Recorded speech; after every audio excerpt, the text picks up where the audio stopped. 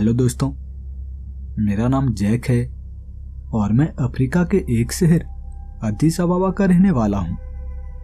अब मैं आपको अपनी कुछ निजी जानकारियाँ देता हूँ। मेरी नौकरी आज से लगभग छह महीने पहले फॉरेस्ट गार्ड में लगी थी और वो पिछले पूरे छह महीने मुझे फॉरेस्ट गार्ड की ट्रेनिंग लेने में निकल गए। फॉरेस्ट गार्ड की ट्रेनिंग पूरे छह महीनों की होती है, जिसके दौरान हमें कई तरह के पैतरे सिखाए जाते हैं। जंगली जानवरों के हमलों से कैसे बचना है? छोटी से छोटी जगहों से बचकर कैसे निकलना है? पेड़ों पे कैसे चढ़ना है? और भी कई तरह के पैतरे हमें सिखाए जाते हैं। आज मेरी ट्रेनिंग पूरी हो चुकी है और मुझे बहुत ही ज़्यादा खुशी हो रही है। लेकिन इसी के साथ मैं थोड़ा सा दुखी भी हूँ। खुशी इस बात की है कि आज मेरा बचपन का सपना पूरा हो गया है। मैं बचपन से ही फॉरेस्ट गार्ड बनना चाहता था। क्योंकि मेरा जंगलों के साथ एक अलग ही लगाव रहा है। जब मैं कॉलेज में था, तब भी मैं बार बार अपने दोस्तों के साथ जंगलों में घूमने के लिए जाया करता था, कैंपिंग किया करता था, क्योंकि मेरा मानना है कि जंगलों में एक अलग ही प्रकार की शांति होती है, जहाँ शहरों की तरह प्रदूषण या फिर शोर शराबा नहीं होता। चिड़ियों की चहचहाती हुई आवाज़ हमारे मन को बहुत ही सुकून देती है। यही सोचकर मैं खुश हूँ कि अब मुझे जंगलों में ही रहना है। लेकिन दुखी इस बात से हूँ कि मेरी पोस्टिंग जिस जंगल में हुई है, उसे भूतहा जंगल माना जाता है।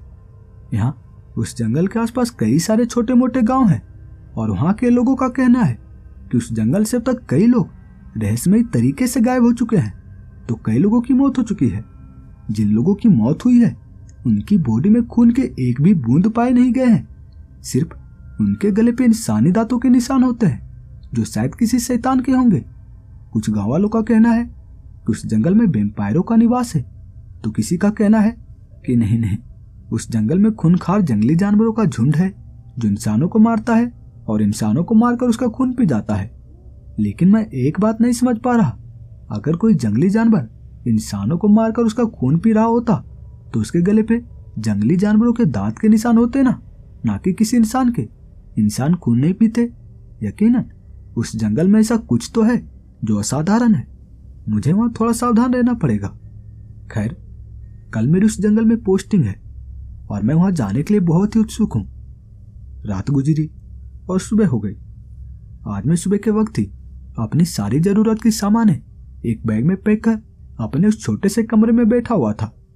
मैं इंतज़ार कर रहा था कि कब वो वन अधिकारी मेरे पास आएँगे और मुझे अपने साथ लेकर जंगल में उस जगह पर जाएँगे, जहाँ पर मुझे काम करना है।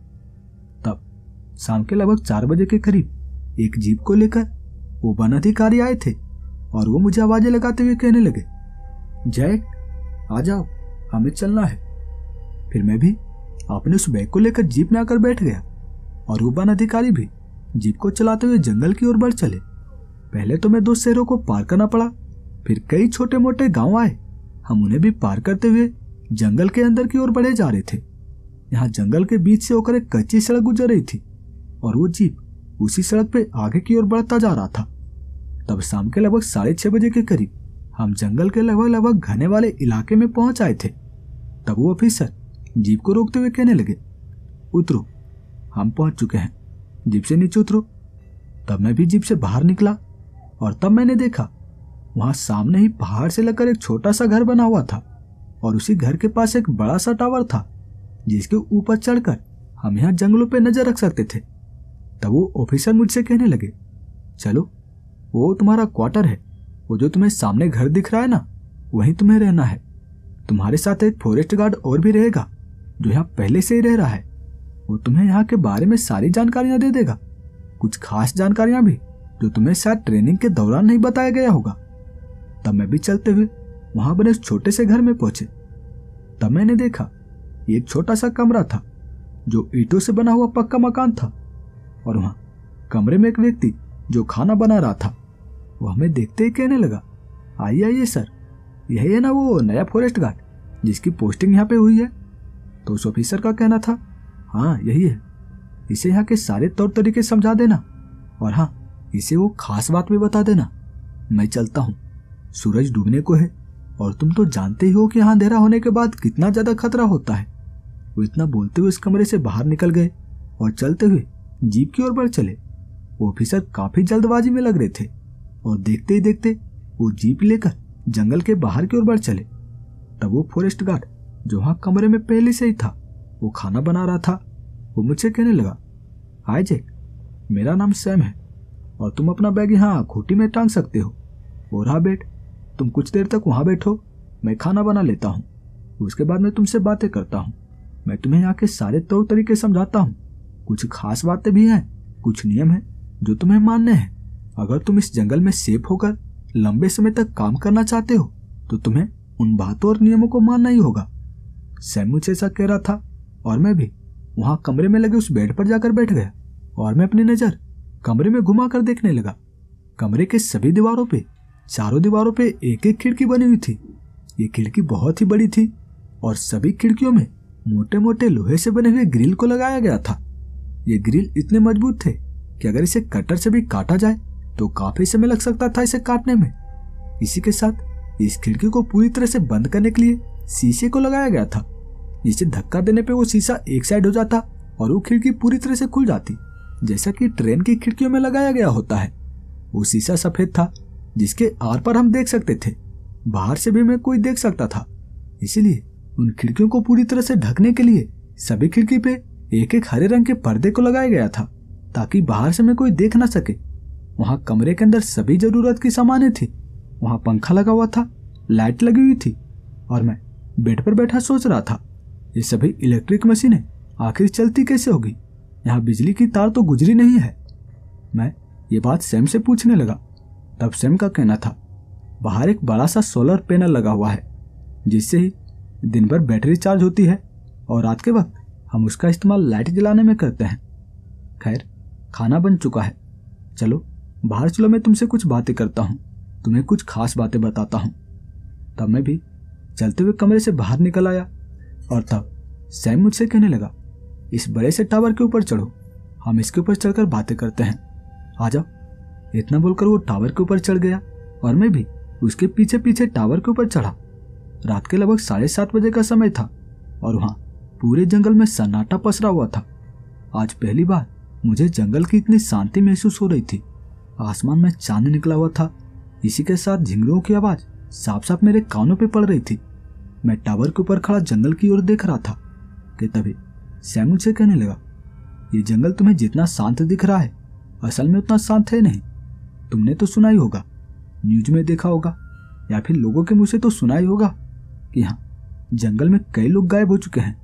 और कई लोगों की लाश यहाँ जंगलों में मिली है। तब मैं भी उसे कहने लगा हाँ मैंने भी सुना है।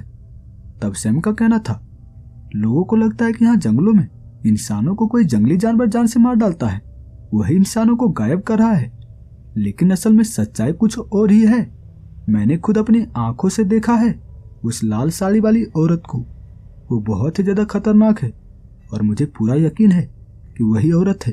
वही औरत है जो यहाँ जंगल में आए इंसानों को जान से मार डालती है, वही इंसानों को गायब कर रही है।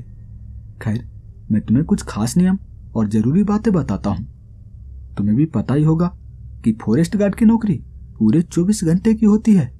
हमें पूरे 24 घंटे ड्यूटी करनी पड़ती है। पता नहीं, जंगल पे कब खतरा आ जाए, कब जंगल में आग लग जाए, कब जंगल में पेड़ों की कटाई होना शुरू हो जाए। हमें ऐसी समस्याओं से निपटने के लिए कभी कभी रात के वक्त भी जंगल में जाना पड़ता है।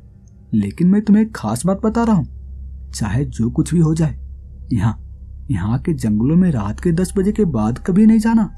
रात के दस बजे के बाद हमेशा, यहाँ, अपने कमरे में तुम्हें रहना है। मैं भी कभी रात के वक्त यहाँ के जंगलों में नहीं जाता। यहाँ रात के वक्त जंगलों में बहुत ज़्यादा खतरा होता है। मैंने अपनी आँखों से देखा है उस चुड़ैल को। जब मैं एक दिन इसी कमरे में खिड़की के पास टेबल लगाकर बैठा हुआ था, बाहर से ताजी ताजी हवाएँ आ रही थी कि तभी मैंने देखा कि मुझसे कुछ ही दूरी पर, इस कमरे से कुछ ही दूरी पर, वो लाल साड़ी वाली औरत गुजर रही थी। वहाँ, वो जो तुम्हें बड़ा सा पेड़ दिख रहा है ना, उसी पेड़ के पीछे से वो औरत गुजर रही थी। और मैंने देखा था, उस औरत के पीछे पीछे कई सारे जंगली जानवरों के झुंड थे, और सभी जंगली जानवरों की आँखें चमक रही थी।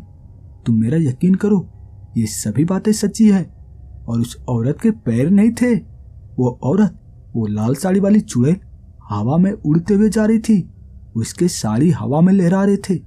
मैंने अपनी आँखों से देखा उस चुड़ैल को और मुझे पूरा यकीन है कि वही इंसानों को जान से मारती है। वो यहाँ के जंगलों में ज़्यादातर रात के दस बजे के बाद ही निकलती है। इसीलिए मैं तुमसे कह रहा हूँ कि रात के दस बजे के बाद चाहे जो कुछ भी हो जाए, तुम्हें इस कमरे से बाहर नहीं निकलना है। मैं भी कभी नहीं निकलता। खैर, इस जंगल में सिर्फ़ यही एक डराने वाली बात नहीं है। इसके अलावा इस जंगल का एक राज और भी है। हर शुक्रवार की रात, जब तुम यहाँ कमरे में सोओगे, तब तुम्हें बहुत ही बुरे बुरे सपने आएँगे। इतने बुरे सपने कि तुम्हें सपने में मौत का अनुभव होगा। तुम यकीन मानो, तुम्हारे शरीर पसीने से लथपथ हो जाएँगे। कभी कभार तो तुम्हें सपने में एक काले कपड़े में औरत और एक छोटा बच्चा दिखेगा, और कभी कभार तुम्हें एक बड़ा सा दलदल दिखेगा, जिसमें तुम डूब रहे होगे। यकीन मानो, वो सपना बहुत ही भयानक होता है। वो सपना सिर्फ़ तुम्हें दिखाई नहीं देगा, बल्कि यहाँ इस जंगल में जो भी शुक्रवार की रात रुकता है, जो भी यहाँ शुक्रवार की रात सोता है, उन्हें ऐसे सपने आते हैं। यहाँ पे कई फॉरेस्ट रेंजर कई फॉरेस्ट गार्ड जो यहाँ जंगल में रह चुके हैं, उन्हें भी ये सपने आते हैं। उसी काले कपड़े वाली औरत की सपने, जिसके साथ एक छोटा बच्चा होता है। मैं समझ नहीं पा रहा कि आखिर हर शुक्रवार की रात ही हमें से सपने क्यों आते हैं। वो भी यहाँ रहने वाले सभी लोगों को उसी औरत का सपना आता है। क्या राज है? आखिर कौन सा राज? इस जंगल में दफन है। क्या यह जंगल सापित है? मैं आज तक कभी समझ नहीं पाया। खैर, ये तो हो गई इस जंगल की डराने वाली बात। अब तुम्हें यहाँ के कुछ ज़रूरी बातें बताता हूँ। तुम्हें यहाँ पे ड्यूटी कैसे करनी है? तुम्हें हर रोज दिन के लगभग आठ बजे इस बड़े से टावर के ऊपर चढ़ जाना है। तुम्हें इसी टावर के ऊपर चढ़कर पूरे जंगलों पर नज़र रखना है। देखना है कि कहीं जंगलों में आग तो नहीं लग रही, कहीं जंगलों में पेड़ों की कटाई तो नहीं हो रहा। अगर तुम्हें ऐसी कोई समस्या दिखे तो तुम्हें उसे रोकना है। अगर समस्या बड़ी हो तो तुम मुझे कॉल करके बता सकते हो। मैं भी तुम्हारे साथ जाऊँगा। मेरा काम है कि मैं यहाँ, वो जो कच्ची सड़क गुजर रही है ना, वो कच्ची सड़क से थोड़ा दूर आगे जाने पे, जिस तरफ़ से तुम आए थे, जहाँ पे छोटे मोटे गाँव बसे हुए हैं, वहीं पे जाकर जंगल में आने वाले लोगों पे निगरानी रखना, क्योंकि यहाँ जंगलों में कई सारे गाँव के लोग आते हैं, जो लकड़ियों को काटकर अपने घर लेकर जाते हैं। मैं उन्हें जंगल को काटने से मना करता हूँ। मैं उन्हें पेड़ों को काटने से रोकता हूँ। मेरा काम यही है। तुम भी काम समझ चुके हो। और अब चलो, खाना खाने का समय हो चुका है। रात के लगभग पूरे आठ बजने को हैं। चलो, इस टावर से नीचे उतरो। तब मैं भी टावर से नीचे उतर आया और फिर हम चलते हुए कमरे में पहुँचे। हम खाना निकल कर खाने लगे। तब से मुझसे कहने लगा, देखो भाई, आज से तुम मुझे अपना दोस्त समझना। अगर कोई भी परेशानी हो तो बेझिझक बोलना। यहाँ काम करने में तुम्हें बहुत मज़ा आने वाला है। लेकिन बस वही एक परेशानी है, जो मैं तुम्हें बता चुका हूँ। वो चुड़ैल, जो लोगों को जान से मार डालती है। तुम्हें रात के दस बजे के बाद इस कमरे से बाहर नहीं निकलना है। हम दोनों खाना खाए, तब से मुझसे कहने लगा, सभी खिड़कियों को अच्छे से बंद कर लो, वो पर्दे भी गिरा दो, ताकि बाहर से मैं कोई देख ना सके। मैं भी सभी खिड़कियों को अच्छे से बंद कर, पर्दे को गिरा कर अपने बेड पर जाकर सो गया। वहाँ कमरे में दो बेड लगे हुए थे, और मैं अपने बेड पर जाकर सो गया। सैम भी अपने बेड पर जाकर सो गया। लेकिन मुझे नींद ही नहीं आ रही थी। मैं वहाँ दस मिनट तक करबटे बदलता रहा, सोने की कोशिश करता रहा, लेकिन मुझे नींद ही नहीं आ रही थी। इतनी जल्दी सोने की आदत थोड़ी ना थी। मैं अपने फ़ोन को निकाला और फ़ोन में पिक्चर देखने लगा। मेरे फ़ोन में कई सारे पिक्चर डाउनलोड थे, क्योंकि यहाँ पे नेटवर्क तो बहुत ही कम था। ऑनलाइन मैं वीडियोज़ नहीं देख सकता था। मैं अपने फ़ोन में डाउनलोड हुए पिक्चर को देखने लगा और रात के लगभग ग्यारह बजे तक मैं पिक्चर को देखता ही रहा। और जब मैं रात के ग्यारह बजे फ़ोन को बंद कर सोने की कोशिश कर रहा था। तब मेरे कानों पे कई सारे भेड़ियों के रोने की आवाज़ पड़ना शुरू हो गए थे। सिर्फ़ भेड़ियों के रोने की आवाज़ ही नहीं थे, और भी कई सारे जंगली जानवरों की आवाज़ थे जो जंगल के अंदर से आ रहे थे। और मुझे उन आवाजों को सुनकर थोड़ा थोड़ा डर भी लग रहा था और थोड़ा थोड़ा अच्छा भी लग रहा था, क्योंकि आज मुझे पहली बार इतने करीब से जंगली जानवरों की आवाज़ सुनने को मिली थी। मैं उन आवाजों को सुनता सुनता सोने की कोशिश करता रहा और कुछ ही देर में मुझे नींद आ गई। मेरी आँख खुली। सुबह के लगभग सात बजे के करीब मैंने देखा कि सैम पहले से ही जगा हुआ था। वहाँ कमरे में खाना बना रहा था। मैं भी उसके साथ खाना बनाने में उसकी मदद करने लगा। कुछ ही देर में खाना बन गया। हम खाना खाए, तब सैम मुझसे कहने लगा, चलता हूँ। ड्यूटी पे जाने का समय हो गया है। गाँव के लोग जो जंगल में घुस गए होंगे, वो लकड़ियों को काटने के लिए घुस गए होंगे। और मुझे उन्हें रोकना है। तुम भी जाओ, उस बड़े से टावर के ऊपर चढ़ जाओ। जंगलों पे नज़र रखो। चलता हूँ। इतना बोलते हुए कमरे से बाहर निकल गया और मैं भी उस बड़े से टावर के ऊपर जाकर चढ़ गया। मैं वहाँ जंगलों पे नज़र रख रहा था। जंगल, जो आगे और भी ज़्यादा घना था। मैं इस टावर के ऊपर से साफ़ साफ़ देख पा रहा था। आगे बहुत सारे ऊँचे ऊँचे घने पेड़ थे। हालाँकि मेरे पीछे तरफ़, जिस तरफ़ से मैं आया था, उधर भी बहुत सारे पेड़ थे। लेकिन उधर इतने घने पेड़ नहीं थे। उसी तरफ़ सेम ड्यूटी करने के लिए गया था। और मेरे पीछे वाले जंगलों में ही गाँव के लोग लकड़ियाँ काटने के लिए आया करते हैं, जैसा मुझे सेम बता रहा था।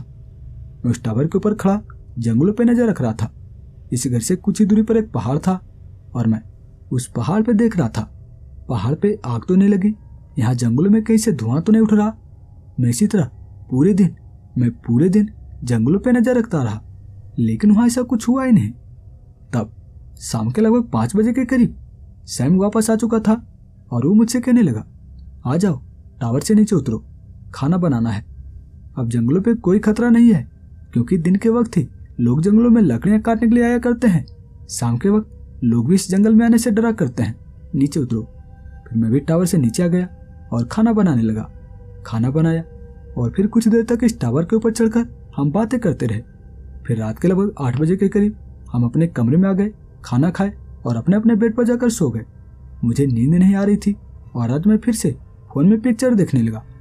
लेकिन आज रात के ग्यारह बजे के करीब मुझे जंगली जानवरों की आवाज़ के साथ साथ मेरे कानों पे किसी के पायलों की घुंघरुओं की आवाज़ साफ़ साफ़ सुनाई पड़ रही थी। मैं अपने फ़ोन को बंद कर चुका था और मैं उस आवाज़ को गौर से सुनने लगा, ये पायलों की आवाज़ कहाँ से आ रही है? तब मुझे पता चला कि ये पायलों की आवाज़ यहीं कहीं से आ रही है। इस कमरे के आसपास कोई तो है जो अपने पाँव में पायल को पहनकर घूम रही है। यकीनन वो औरत ही होगी, क्योंकि मर्द पायल तो नहीं पहनते हैं। क्या मुझे देखना चाहिए कि इस कमरे के पास कौन है जो इतनी रात गए पायल को पहनकर घूम रही है? मुझे कमरे से बाहर नहीं निकलना है, लेकिन मैं खिड़की से जाकर तो देख ही सकता हूँ ना। यही सोचकर मैं खिड़की के पास गया और उस पर्दे को हटाकर बाहर की ओर देखने लगा। वो शीशा लगा हुआ नहीं था और मैं बाहर की ओर जाकर देख रहा था। बाहर मुझे कोई भी दिखाई नहीं पड़ रहा था, लेकिन मेरे कानों पे वो पायलों की आवाज़ अभी पड़े जा रही थी। मैं दूसरी खिड़की के पास गया और उसके भी पर्दे को हटाकर बाहर की ओर देखने लगा। इसका भी शीशा लगा हुआ नहीं था और मैं बाहर की ओर झांकता हुआ देख रहा था। बाहर मुझे कोई भी दिखाई नहीं पड़ रहा था। मैं अच्छे से देखा, लेकिन वहाँ बाहर बस वो सोलर पैनल की लाइट जल रही थी, जिसकी रोशनी में मैं बाहर की ओर देख पा रहा था। फिर मैं चलते हुए दूसरी दीवार के पास गया उसके भी पर्दे को हटाया और बाहर जाकर देखने लगा। लेकिन बाहर मैंने बहुत ही अजीब चीज़ को देखा। यहाँ इस कमरे से कुछ ही दूरी पर लाल साड़ी में मुझे कोई औरत दिखाई पड़ रही थी, जो हवा में दो फुट ऊपर थी। उसके पैर नहीं थे, वो हवा में उड़ रही थी और उसके साड़ी के पल्लू हवा में लहरा रहे थे। और तभी मैंने देखा उस औरत के पीछे पीछे कई सारे जंगली जानवर थे, बाघ सियार, काला तेंदुआ, इसी तरह के कई सारे जंगली जानवर थे और सभी की आँखें चमक रही थी। वो लाल साड़ी वाली औरत, वो उस झाड़ियों के पीछे सोकर कहीं उड़ती हुई जा रही थी, हवा में वो उड़ती हुई कहीं जा रही थी और वो सारे जानवर उसके पीछे पीछे चले जा रहे थे।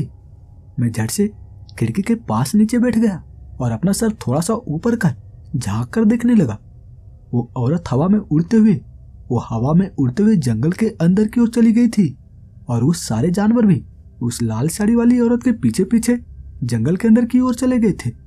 लेकिन मैं एक बात नहीं समझ पा रहा था। उस औरत के तो पैर ही नहीं थे। वो अपने पैर में पायल भला कैसे पहन सकती है?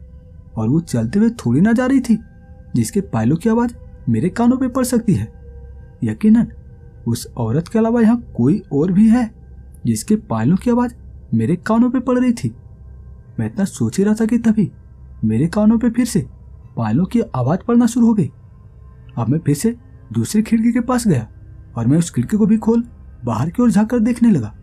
लेकिन वहाँ भी मुझे कोई दिखाई नहीं पड़ रहा था। मैं ऐसे ही चारों दीवारों पर लगाई गई खिड़की को खोल बाहर की ओर झाकर देख लिया था। लेकिन मुझे कोई दिखाई नहीं पड़ा था। बस वही लाल साड़ी वाली औरत थी जो जंगल के अंदर गई थी। लेकिन उसके पायलों की आवाज़ मेरे कानों पे नहीं पड़ रही थी।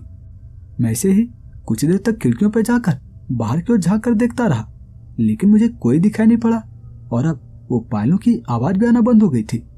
तब मैं अपने बेड पर जाकर सो गया। मैं खिड़कियों को बंद कर चुका था और मैं अपने बेड पर जाकर सो गया। मैं सोते वक्त ये सोच रहा था कि वो लाल साड़ी वाली औरत, वो कौन थी? यकीनन वो चुड़ैल होगी, क्योंकि इंसानों के तो पैर होते हैं ना।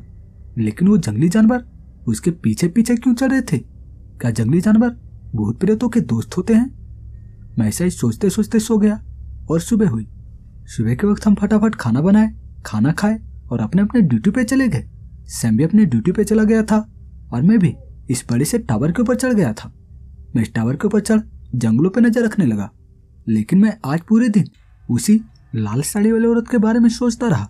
शाम हो गई और शाम के लगभग पाँच बजे के करीब सैम अपनी ड्यूटी से वापस आ चुका था।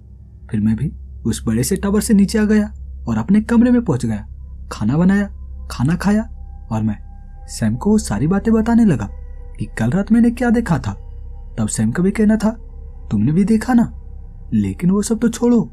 आज पता है, आज कौन सा दिन है? शुक्रवार। और आज की रात ही वो डरावने डरावने सपने में आएँगे। आज के दिन ही तुम जब सोओगे, तब तुम्हें भी वो डरावने डरावने सपने आएँगे। बहुत ही बुरे सपने होते हैं वो। सैम मुझसे ऐसा कह रहा था और मैं भी उससे कहने लगा, अगर ऐसी बात है तो मैं आज सोऊँगा ही नहीं, मैं आज पूरी रात जगा ही रहूँगा। तब सैम का कहना था, ऐसा नहीं होने वाला, तुम्हारी आँखें बारह बजे के करीब, रात के बारह बजे के करीब अपने आप बंद होना शुरू हो जाएगी। मैं भी कई बार रात में जगने की कोशिश किया हूँ, लेकिन पता नहीं क्या होता है, जैसे रात के बारह बजे के करीब जंगल में एक अलग ही मधोसी छा जाती है, एक अलग ही प्रकार की सुगंध छा जाती है जो तुम्हें सपनों की दुनिया में लेकर जाती है। एक डरावने सपनों की दुनिया में। आज तुम्हें भी पता चल ही जाएगा। जब तुम सोगे तब तुम्हें भी वो डरावने डरावने सपने आएँगे। सैम इतना बोलते हुए अपने बेड पर लेट गया और मैं भी बेड पर लेट फ़ोन में पिक्चर देखने लगा। मैं सोच रहा था क्या सच में, आज जब मैं सोऊँगा तो मुझे वो सपने आएँगे। मैं रात के लगभग ग्यारह बजे तक पिक्चर देखता रहा, लेकिन तभी मैंने देखा कि रात के लगभग ग्यारह बजे के करीब सैम अपने बेड पर जैसे तड़पना शुरू हो गया था। वो अपने मुँह से अजीब अजीब सी आवाज़ें निकाले जा रहा था और मैं समझ गया, यकीनन ये सपना देख रहा है। मैं अपने बेड पर से उतरा और उसे जाकर जगाने लगा। मैं उसके शरीर को हिला रहा था, उसे जगाने की कोशिश कर रहा था, लेकिन उसकी आँखें जैसे खुली नहीं रही थी, वो सपने से बाहर आ ही नहीं पा रहा था। वो बार बार अपने हाथ पाँव मार रहा था और चिल्लाते हुए कह रहा था, छोड़ दो, मुझे जाने दो। मैंने तुम्हारा कुछ नहीं बिगाड़ा है। तुम मुझे परेशान क्यों कर रही हो? मुझे जाने दो। वो अपना हाथ पा मारते हुए ऐसा कह रहा था और मैं उसे हिलाते हुए जगाने की कोशिश कर रहा था। लेकिन वो जगने का नाम ही नहीं ले रहा था। लेकिन तभी रात के लगभग बारह बजे के करीब जैसे मुझे भी बहुत तेज नींद आना शुरू हो गई थी। मेरी आँखें भी बंद होना शुरू हो गई थी और मैं अब ज़मीन पर ही गिरने वाला था। लेकिन मैं किसी तरह से चलते हुए अपने बेड तक गया और मैं जैसे अपने बेड पर लेटा, मेरी आँख लग गई। मेरी आँख लगते ही मैं जंगलों में पहुँच गया था। ये जंगल का घना वाला इलाका था, जहाँ पेड़ इतने घने थे, इतने ऊँचे घने पेड़ थे, जहाँ चाँद की रोशनी थोड़ा सा भी छिटक कर यहाँ ज़मीन पे नहीं पड़ रही थी। मैं जंगल के अंदर की ओर बढ़े जा रहा था, कि तभी मैंने देखा, वहाँ मुझसे कुछ ही दूरी पर सामने एक काले कपड़े में औरत और उसके साथ एक बच्चा खड़ा था। उस बच्चे की उम्र लगभग बारह साल की होगी और वहीं उस औरत और बच्चे को घेर कर पाँच लोग खड़े थे। ये पाँचों लोग देखने में लगभग मेरे ही उम्र के लग रहे थे। और तब मैंने देखा, वहाँ उस औरत से कुछ ही दूरी पर ज़मीन पे पाँच टेंट बने हुए थे। ये पाँचों टेंट कैंपिंग टेंट थे और मैं उसे देखते ही समझ गया। ये पाँचों लोग यकीनन यहाँ जंगलों में कैंपिंग करने के लिए आए होंगे और ये औरत भी इसके साथ ही होगी। वहाँ उनके बीच बहस चल रही थी। मैं उनकी आवाज़ नहीं सुन पा रहा था। बस मैं उनके हिलते हुए होठ को देखकर समझ पा रहा था कि आपस में बातें कर रहे हैं। मैं उनकी ओर देख रहा था और तभी पता नहीं अचानक क्या हुआ। वो पाँचों लोग जो अपने हाथ में चाकू पकड़ रखे थे, वो पाँचों लोग अपने हाथ को पीछे कर रखे थे, जिस वजह से मैं उनके हाथ में चाकू नहीं देख पाया था। लेकिन वो पहले से ही अपने हाथ में चाकू पकड़ रखे थे और वो अपने हाथों से उस औरत पे चाकू से वार करने लगा था। पाँचों के पाँचों लोग उस औरत और बच्चे के पेट में चाकू घोप कर उन्हें जान से मार डाला था। मैं भागते हुए उस औरत के पास गया। मेरे पास एक बड़ी सी गन थी जो मैं अपने कंधे में टांग रखा था। मैं अपनी गन निकाला और एक बंदे के ऊपर तान कर उससे कहने लगा, देखो, तुम इस औरत को मारकर अच्छा नहीं की हो। मैं तुम लोगों को जेल की हवा खिलवाऊँगा। मैं ये सारी बातें पुलिस वाले को बताऊँगा। और फिर देखना, तुम लोगों को फांसी होगी, फांसी। मैं ऐसा वहाँ के पाँचों लड़कों से कह रहा था, लेकिन उन्हें जैसे मेरी बातों का कोई असर ही नहीं हो रहा था। वो मेरे ऊपर ध्यान ही नहीं दे रहे थे। उस औरत और बच्चे की लाश को, जो वहाँ ज़मीन पर गिरे हुए थे, उसके पैर को पकड़कर घसीटते हुए, ज़मीन पर घसीटते हुए कहीं लेकर जाने लगे। और मैं भी उसके पीछे पीछे हो लिया। मैं उसे कहता जा रहा था, देखो ये तुम लोग अच्छा नहीं कर रहे हो। तुम इस औरत और बच्चे की जान ले लिए हो। मैं पुलिस वालों को ये बात बताऊँगा और तुम्हें फांसी की सजा होगी। लेकिन उन्हें जैसे मेरी बातों का कोई सर ही नहीं हो रहा था, वो जैसे मेरी बातों पर ध्यान ही नहीं दे रहे थे। वो उस औरत और बच्चे की लाश को घसीटता हुआ, ज़मीन पे घसीटता हुआ एक बड़े से दलदल के पास लेकर आ गए थे और वो उस बच्चे और उस औरत की लाश को वहीं दलदल में फेंक दिया। मैं उसे बहुत कुछ कह रहा था, उस पर गालियाँ बरसा रहा था, लेकिन उन्हें जैसे मेरी बातों का कुछ भी असर नहीं हो रहा था, मैं उस पर गोलियाँ चलाना चाहता था। लेकिन हम फॉरेस्ट गार्ड को किसी को मारने का अधिकार नहीं होता। मैं उस पर गोलियाँ नहीं चला सकता था। मैं क्या करता? मैं बस अपनी जगह पर खड़ा उस पाँचों लड़कों को देख रहा था। वो पाँचों लड़के लाश को दलदल में फेंक जंगल के बाहर की ओर निकलने लगे थे। लेकिन वो बचकर कहाँ जाने वाले थे? अगर आप कोई गलत काम करते हो तो आपको सजा भी भुगतने के लिए तैयार रहना चाहिए। वो पाँचों लड़के जंगल की बाहर की ओर जा रहे थे और तब मैंने देखा उस दलदल से काले रंग के कई सारे पंजे निकले थे। ये इंसानी हाथों के पंजे थे लंबे लंबे पंजे, जो लगातार उस दलदल से बाहर की ओर निकले जा रहे थे। ये टोटल चार इंसानी हाथ थे, काले रंग के दिखने वाले इंसानी हाथों के पंजे, और वो लगातार लंबे होते जा रहे थे। वो पाँचों लड़के जंगल के बाहर की ओर बढ़ते हुए जा रहे थे, और ये इंसानी हाथों का पंजा लंबा होता हुआ पीछे से उसके पास गया और उसके पैरों को पकड़कर उसे खींचता हुआ यहाँ दलदल में लेकर आ गया। उसे दलदल में समा चुका था। वो लड़के तड़प रहे थे। वो चारों लड़के तड़प रहे थे और मैं भी अपनी जगह पर खड़ा होकर देखता रहा। मैं भी खुश था। जैसा इन्होंने किया है, इन्हें भरना तो पड़ेगा ही। वो चारों लड़के तड़प रहे थे और देखते ही देखते वो दलदल में समा गए। बस अब एक लड़का बच चुका था। जो भागता हुआ जंगल की बाहर की ओर निकल रहा था, वो बहुत ज़्यादा घबरा चुका था और वो जंगल के बाहर की ओर लगातार भाग रहा था। लेकिन तभी फिर से एक इंसानी हाथ का पंजा निकला और उसके पैरों को पकड़कर खींचता हुआ यहाँ दलदल में लेकर आ गया। वो भी बहुत ज़्यादा तड़प रहा था और देखते देखते उसकी भी मौत हो गई, वो भी दलदल में समा गया। अब मैं वहाँ पे सिर्फ़ अकेला बचा था और मुझे काफ़ी डर लगना शुरू हो गया था। कहीं इंसानी पंजा मुझे भी कुछ नुकसान ना पहुँचाए। नहीं नहीं, मैंने इसका कुछ थोड़ी ना बिगाड़ा है। ये मुझे क्यों नुकसान पहुंचाएगा? मैं अपने उस बड़े से लंबे गन को फिर से पीठ में टांग चुका था और जंगल के बाहर की ओर निकलने लगा। लेकिन तभी किसी ने मेरे पैर को पकड़ लिया था। मेरे कदम आगे नहीं बढ़ रहे थे। और जब मैं अपने सर को पीछे घुमाकर देखा, ये वही काला सा दिखने वाला इंसान ही पंजा था, जिसने मेरे पैर को पकड़ा हुआ था। और वो मुझे दलदल की ओर खींचने लगा। मैं ज़मीन पर गिर चुका था और वो इंसानी पंजा मुझे लगातार खींचता हुआ दलदल में लेकर आ गया था। मैं लगातार दलदल में समाये जा रहा था।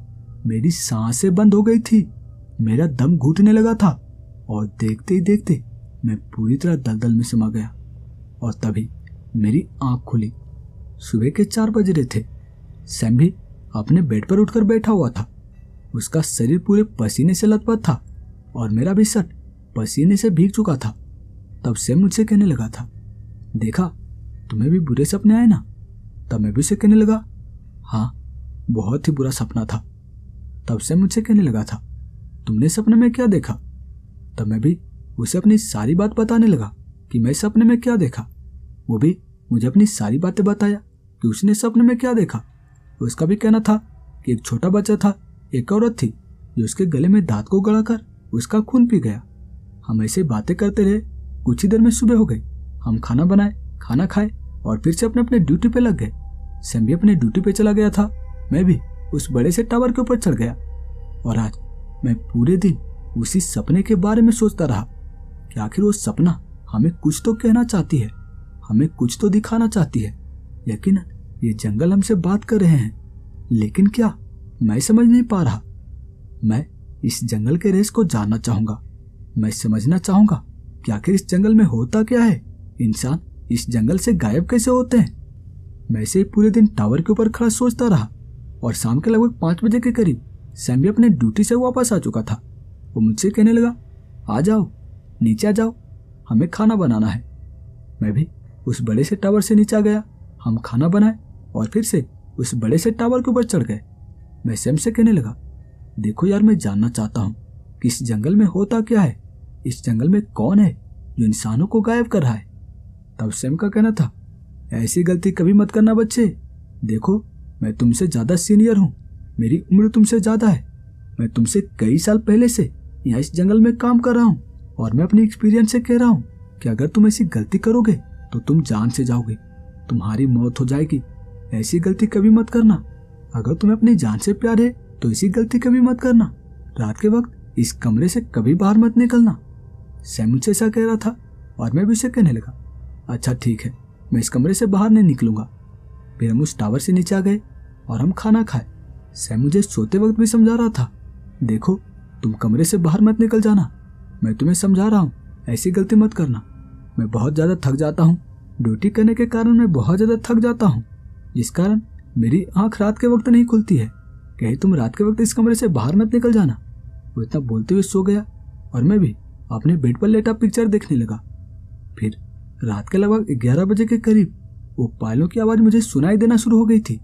फिर से मेरे कानों पे किसी औरत के पायलों के घुंघरुओं की आवाज़ साफ़ साफ़ मेरे कानों पे पड़ने लगी थी और मैं अपने बेड पर उठकर बैठ गया। आज मैं खिड़कियों को खोलकर बाहर झाँक कर नहीं देखना चाहता था, क्योंकि मुझे पता था बाहर मुझे कुछ दिखाई नहीं देने वाला। अगर मुझे इस जंगल के रहस्य को सुलझाना है तो मुझे इस कमरे से बाहर निकलना ही होगा। मैं बेड पर से नीचे उतरा और अपने कंधे में उस लंबी सी गन को टांग कमरे के दरवाजे को खोल कमरे से बाहर आ गया। कमरे के बाहर सोलर पैनल की लाइट जल रही थी और तभी मैंने देखा वहाँ उस कमरे से कुछ ही दूरी पे एक काले कपड़े में कोई औरत खड़ी थी। उसके साथ एक छोटा बच्चा भी था और उन्होंने अपना पीठ मेरी ओर कर रखा था। मैं चलते उसके पास जाने लगा। मैं उससे बातें करना चाहता था कि आखिर कौन है वो? और वो अपने बच्चे के साथ इतनी रात गए जंगल में क्या करने आया करती है? उसे जंगली जानवरों से डर नहीं लगता? या फिर यहाँ के भूत प्रेतों से डर नहीं लगता? मैं यही सोचते हुए इसकी ओर बढ़े जा रहा था। और वो औरत भी मेरी कदमों की आवाज़ सुन आगे की ओर बढ़ने लगी थी। उसका बच्चा भी उसके साथ साथ ही चल रहा था। मेरे मन में एक डर भी था कि कहीं ये औरत वही तो नहीं जो सपने में आया करती है, जो कल मेरे सपने में आई थी। उसके साथ भी तो एक छोटा बच्चा था और इस औरत के साथ भी एक छोटा बच्चा है। उसने भी काले रंग के कपड़े को पहन रखी थी और इसने भी काले रंग के साड़ी को पहन रखी है। हो ना हो, इस औरत का उस सपने के साथ कुछ ना कुछ कनेक्शन तो ज़रूर है। मैं भी अब दबे दबे पाँव उस औरत के पीछे पीछे चलने लगा। औरत जंगल के घने वाले इलाके की ओर बढ़े जा रही थी। मैं भी उस औरत के पीछे पीछे चलता गया। कुछ ही देर में मैं एक ऐसी जगह पर पहुँच आया था जहाँ बहुत ही ऊँचे घने पेड़ थे। आसमान में चाँद निकले हुए थे, लेकिन चाँद की रोशनी थोड़ा सा भी छिटक कर यहाँ ज़मीन पे नहीं पड़ रही थी। मैं उस औरत को देख रहा था। वो औरत बढ़ते हुए जंगल के और भी घने वाले इलाके की ओर बढ़े जा रही थी। मैं भी उसके पीछे पीछे चलता गया, और तब मुझे ऐसा लगने लगा कि ये जगह मुझे जानी पहचानी सी लग रही है। मैंने शायद इसे सपने में देखा था। कल जो मुझे सपना आया था उसी सपने में तो मैं इस जगह को देखा था। यकीनन, ये औरत वही है, सपने वाली औरत है। यकीनन, ये भी कोई भूत प्रेत होगी, ये बच्चा भी कोई भूत प्रेत होगा। मुझे थोड़ा सावधान रहना होगा। क्या मैं उससे बातें करूँ, या फिर मैं यहाँ से वापस लौट जाऊँ? नहीं नहीं, अब जंगल के अंदर तक आ ही चुका हूँ तो मैं इस रहस्य को सुलझा कर ही जाऊँगा। मैं उस औरत की ओर बढ़े जा रहा था, और तभी मैं उस जगह पे पहुँच आया था। जहाँ एक बड़ा सा दलदल बना हुआ था। एक बड़ा सा गड्ढा था, जिसके अंदर दलदल था। मैं ये नज़ारा देखते ही समझ गया कि ये सपने वाली ही जगह है। लेकिन ये मुझे दिखाना क्या चाहती है? ये औरत मुझे क्या बताना चाहती है? मैं वहाँ दलदल के ओर खड़ा था और वो औरत दलदल के उस ओर जाकर खड़ा हो गई थी। वह भी अपना पीठ मेरी ओर घुमा रखी थी। उसका बच्चा भी उसके साथ ही था। मैं उसे आवाज़ लगाते हुए कहने लगा कौन है आप? और आप यहाँ इतनी रात गए, जंगलों में क्या कर रही हैं? देखिए, मुझे पता है कि आप ये बात पहले से ही जानते थे कि मैं आपका पीछा कर रहा हूँ। लेकिन इसके बावजूद भी आप जानबूझकर जंगल के अंदर की ओर पड़े जा रही हैं। बताइए, आप यहाँ जंगलों में क्या कर रही हैं? मेरे इतना कहते ही वहाँ जंगलों में एक अजीब सी हँसी गुंज पड़ी। ये हँसी उसी औरत की थी। बहुत ही भयानक हँसी थी उसकी। और मैं उस औरत की ओर देख रहा था। तब वो हँसते हुए मेरी ओर पलटी थी। उसका बच्चा भी मेरी ओर पलटा था और मैं उसके चेहरे को देख इतना ज़्यादा घबरा गया कि मैं आपको बयान नहीं कर सकता। उस औरत का चेहरा और उसके बच्चे का चेहरा पूरी तरह से सफ़ेद था। उसकी लाल लाल सुर्ख आँखें जो देखने में बहुत ही ज़्यादा भयानक लग रही थी और वो हँसते हुए मुझसे कहने लगी, तुम यहाँ पे अपनी मौत को बुलावा देने के लिए आए हो? तुम्हें क्या लगता है कि तुम मेरा पीछा कर रहे थे? नहीं, मैं तुम्हें यहाँ पर लेकर आई हूँ। तुम्हें मारने के लिए तुम्हें यहाँ पर लेकर आई हूँ। और तुम्हें इसी दलदल में मारूँगी। बेटा, क्या तू इसका खून पीना चाहेगा? वो अपने बच्चे से ऐसा कह रही थी, और तब उसका बच्चा ज़ोर ज़ोर से कुदकने लगा था। वो हँसते हुए कहने लगा हाँ हाँ मैं इसका खून पीऊँगा, मैं इसका खून पीऊँगा। वो उछल रहा था, और वो उस औरत से ऐसा कह रहा था। तब वो औरत भी हुए कहने लगी, फिर जा, छलांगे मारकर इसके कंधे पर कूद पर और अपना दांत गड़ा दे इसके कंधे में। औरत अपने बच्चे से इतना बोली ही थी कि तभी वो बच्चा छलांगे मारकर उस दलदल को फांद कर मेरे कंधों पे चढ़ाया था और वो अपना दांत मेरे गले में गड़ाना चाहता था। मैं अपने हाथ से उस बच्चे के गर्दन को पकड़ लिया था और उसे अपने से दूर कर दिया था। लेकिन वो बच्चा अब भी अपने गर्दन को लंबा किए, मेरे गले में अपने दांत गड़ाना चाहता था। मैं उसे एक झटके से, बस एक झटके से काफ़ी दूर फेंका था। वो बच्चा काफ़ी दूर जाकर गिरा था और वो फिर से छलांगे मारकर मेरे दूसरे कंधे पे चढ़ाया। वो फिर से अपना दांत मेरे गले में गड़ाने की कोशिश कर रहा था, लेकिन मैं फिर से उसे गर्दन से पकड़ा और उसे अपने से दूर फेंका और तभी उस दलदल से निकला था वो सैतानी पंजा। इंसानी काले सैतानी पंजा। वो मेरे पैर को पकड़ लिया था और वो मुझे दलदल की ओर खींचने लगा। लेकिन वो बच्चा कह रहा था, नहीं माँ नहीं माँ, मुझे इसके खून को पीना है, इसे दलदल में मत ले जाओ। वो बच्चा इतना बोला ही था कि तभी वो पंजा भी मुझे उस दलदल में खींचना बंद कर चुका था।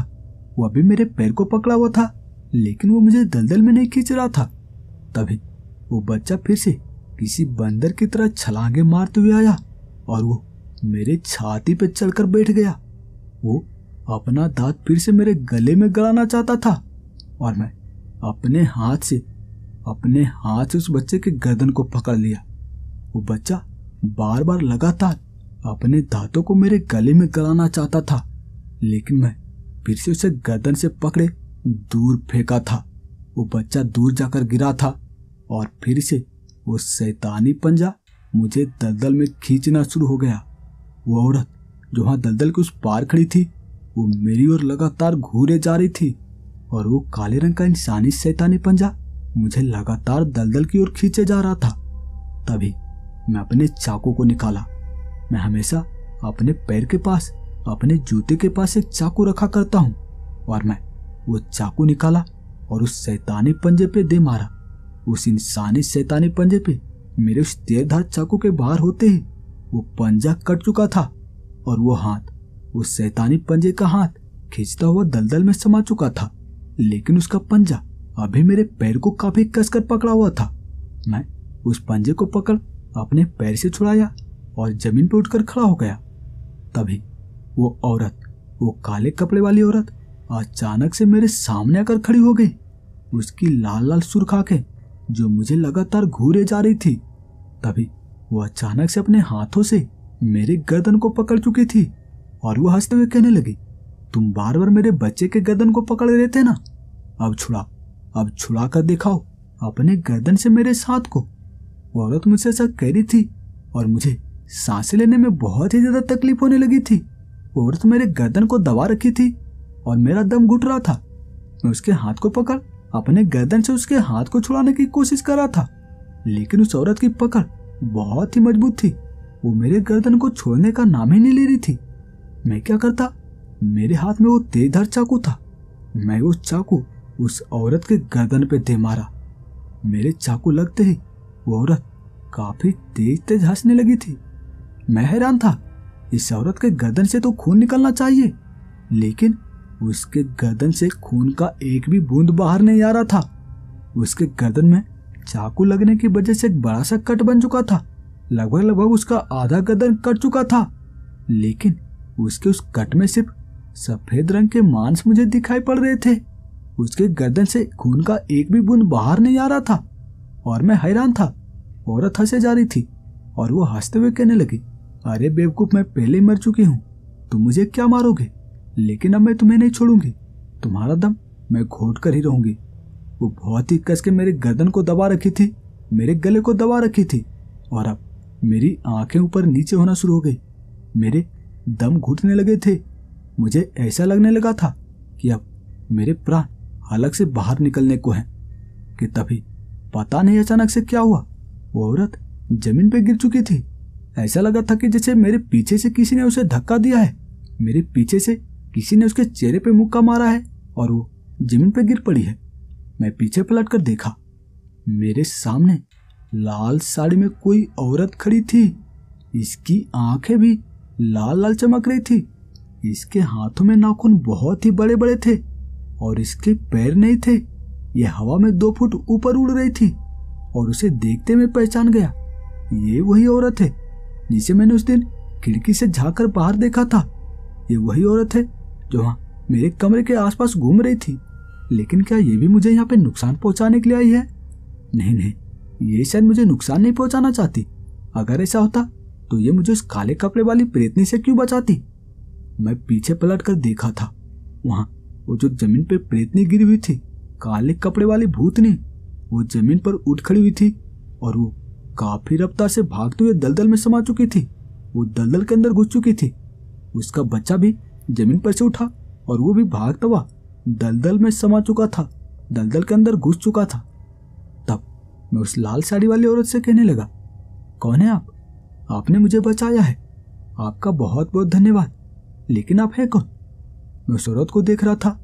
वो बहुत ही ज़्यादा सुंदर लग रही थी। उसके चेहरे पे एक तेज था। भले ही उसके आँख चमक रहे थे, उसके नाखून बड़े बड़े थे, लेकिन वो देखने में बहुत ही ज़्यादा सुंदर लग रही थी। उसकी साड़ी का पल्लू पीछे हवा में लहरा रहे थे और तभी मेरी नज़र पड़ी पीछे। वहाँ पीछे कई सारे जंगली जानवरों का झुंड था। उन सभी जानवरों की आँखें चमक रही थी और तब मैंने देखा उस औरत का चेहरा, लाल साड़ी वाली औरत का चेहरा बदलना शुरू हो गया था। उसके आकार बदलना शुरू हो गए थे और वो देखते ही देखते एक बेहद ही सुंदर लड़की के रूप में बदल चुकी थी। उसके पैर आ चुके थे, उसकी लाल लाल आँखें अब चमकना बंद हो चुकी थी और तब वो मुझसे कहने लगी, देखो मैं एक यक्षिणी हूँ, तुम मुझे जंगल की देवी भी मान सकते हो। मेरा काम है जंगलों की रक्षा करना, जो जंगल की रक्षा करते हैं, उनकी रक्षा करना। इसी कारण मैंने तुम्हें बचाया है। तुम एक फॉरेस्ट गार्ड हो ना? फॉरेस्ट गार्ड का काम होता है जंगलों की रक्षा करना। तुम्हें जंगलों की रक्षा करते हो, मैं भी जंगलों की रक्षा करती हूँ, इसलिए मैंने तुम्हें बचाया है। तब मैं भी कहने लगा यक्षिनिया भी तो भूत प्रेत ही होते हैं ना? कहे तुम मेरा बाद में कुछ नुकसान तो नहीं पहुंचाओगी। अभी तो उस प्रेतनी को भगा चुकी हो, लेकिन तुम मेरा बाद में कुछ नुकसान तो नहीं पहुंचाओगी? तब उसका कहना था। देखो, पहली बात तो ये यक्षिनिया भूत प्रेत नहीं होती। भूत प्रेत अलग होते हैं यक्षिनिया अलग होती है, और मैं तुम्हें कुछ नुकसान नहीं पहुंचाऊँगी।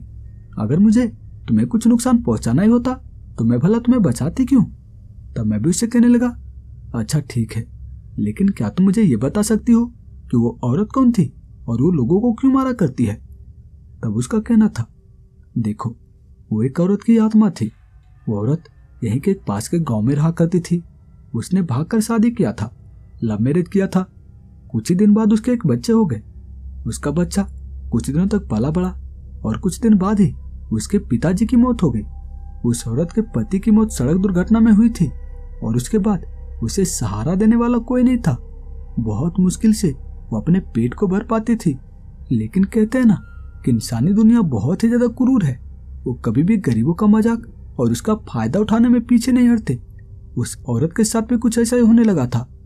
तब उस दुनिया को छोड़ यहाँ जंगलों में रहने के लिए चली आई थी। वो यहाँ पेड़ों से तोड़ फल को खाती और अपने बच्चों को भी खिलाती। इसी तरह वो अपना जीवन यापन कर रही थी। किसी तरह से अपना जीवन बिता रही थी। लेकिन एक दिन इस जंगल में पाँच लोग पाँच लोग कैंपिंग करने के लिए आए थे और उनकी बुरी निगाहें बेचारी उस औरत पे पड़ गई। वो उस औरत का फ़ायदा उठाना चाहते थे। उनके बीच हाथापाई होना शुरू हो गई और फिर उन पाँचों ने मिलकर उस औरत और उसके बच्चे को जान से मार डाला और फिर उसकी लाश यहीं इस दलदल में दफना दिया। उसकी ही आत्मा है जो यहाँ जंगल में आने वाले सभी लोगों को लगभग लगभग सभी लोगों को जान से मार डालती है और फिर उसकी लाश यहीं से दलदल में दफना देती है। लोगों को लगता है कि इस जंगल से लोग गायब हो जाते हैं, लेकिन गायब कहीं नहीं होते हैं। उनकी लाश यहीं से दलदल में दफनाया जाता है। तब मैं भी कहने लगा, लेकिन क्या उस औरत की आत्मा को मुक्ति दिलाने का कोई उपाय नहीं है? तो उसका कहना था हाँ एक उपाय है। अगर उस दलदल से उस औरत और उसके बच्चे के उस शरीर को निकाल, उसका दाह संस्कार कर दिया जाए तो उस औरत की आत्मा को और उसके बच्चे की आत्मा को शांति मिल जाएगी। तब मैं भी कहने लगा, क्या तुम मेरे इस काम में मदद कर सकती हो? तो उसका कहना था, ठीक है, कर देती हूँ, क्योंकि वो औरत बुरी आत्मा है। वो अच्छे इंसानों को भी मारा करती है। वो अपना बदला पहले ले चुकी है। उसके बावजूद भी वो इंसानों को मारा करती है। इसीलिए मैं तुम्हारे इस काम में मदद कर रही हूँ। वो इतना बोलते हुए अपने आँखों को बंद कर चुकी थी और वो अपनी उंगलियाँ घुमाने लगी। उसकी उंगली में रोशनी चमकी और तभी मेरे सामने दो लाश वहाँ ज़मीन पे आ चुके थे। इन दोनों लाशों की मांस लगभग लगभग सड़ चुके थे। और तब वो यक्षिनी मुझसे कहने लगी, यही दोनों लाश है। ये दोनों लाश उसी औरत और उसके बच्चे की है। इसका दाह संस्कार करो। इसके दाह संस्कार करते ही इसकी आत्मा हमेशा हमेशा के लिए मुक्त हो जाएगी। तब मैं भी कहने लगा अच्छा ठीक है, मैं लकड़ियों को इकट्ठा करता हूँ। तब उस यक्षिनी का कहना था, अरे, मैं किए देती हूँ ना। मैं यहाँ पे दो चिता बना देती हूँ। तुम उस चिता पे इन दोनों लाश को लिटा देना। तब मैं भी कहने लगा, ठीक है, बना दो। वो फिर से अपनी आँखें बंद कर चुकी थी और वो अपनी उंगलियाँ घुमाने लगी। तभी वहाँ मेरे सामने लकड़ियों के दो चिता बन चुके थे और मैं भी उस लाश को उठाकर उन दोनों चिता पर रख चुका था। तब वो फिर से मुझे एक मसाल देते हुए कहने लगी, ये लो मसाल, इस मसाल से तुम इस चिता में आग लगा दो। मैं भी उस मसाल को अपने हाथ में पकड़ चुका था और मैं अब उस चिता में आग लगाने वाला था कि तभी मेरी नज़र पड़ी वही दलदल के उस ओर, दलदल के उस ओर वही औरत और उसका बच्चा खड़ा था और उसकी आँखों से आँसू निकल रहे थे। वो दोनों रो रहे थे और उसकी आँखों से निकलते हुए आँसू साफ़ बया कर रहे थे कि वो दोनों कितने ज़्यादा दुखी थे। तभी वो यक्षिनी मुझसे कहने लगी, चिता में आग लगाओ। जो होना था वो हो चुका है। मैं भी चिता में आग लगा दिया। चिता धू धू करके जलने लगी और देखते ही देखते उस औरत की आत्मा और उस बच्चे की आत्मा हवा में कहीं गायब हो गई। तब यक्षिनी कहने लगी, उन दोनों की आत्मा को मुक्ति मिल चुकी है और अब सभी को लगेगा कि जंगल से खतरा टल चुका है। लेकिन जंगल से खतरा नहीं टला है, जंगल में अब भी खतरा है। जो भी जंगल को नुकसान पहुंचाएगा, उसे मैं नुकसान पहुंचाऊँगी। वो इतना बोलते हुए वहाँ से गायब हो गई और अब मैं भी चलता हुआ अपने कमरे में पहुँचा। रात के लगभग चार बजने को थे। मैंने देखा कि वहाँ सैम अपने बेड पर सो रहा था। मैं भी कमरे के दरवाजे को बंद कर बेड पर जाकर सो गया। सुबह हुई और सुबह के वक्त हम खाना खाकर फिर से अपने अपने ड्यूटी पर चले गए। सैम भी अपनी ड्यूटी पर चला गया था। मैं भी इस बड़े से टावर के ऊपर चढ़ गया था और मैं वहाँ टावर के ऊपर खड़ा सोच रहा था, क्या मैं कल वाली घटना सैम को बता दूँ? कि इस जंगल से खतरा टल चुका है? नहीं नहीं, उसने तो इस जंगल में वो लाल साड़ी वाली औरत को देखा था ना? उस यक्षिनी को देखा था। लेकिन वो यक्षिनी अभी तो इस जंगल में है। नहीं, मैं उसे ये बात नहीं बताने वाला। फिर इसी तरह से समय बीता। शुक्रवार की रात आई, लेकिन आज हमें वो बुरे सपने नहीं आए थे। तब सुबह के वक्त सैम मुझसे कहने लगा, यार, आज में वो बुरे सपने नहीं आए। तुम्हें आए क्या? तब मैं भी उसे कहने लगा, नहीं, हमें भी वो बुरे सपने नहीं आए।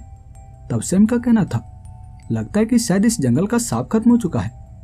तब मैं भी उसे कहने लगा हाँ हो गया होगा।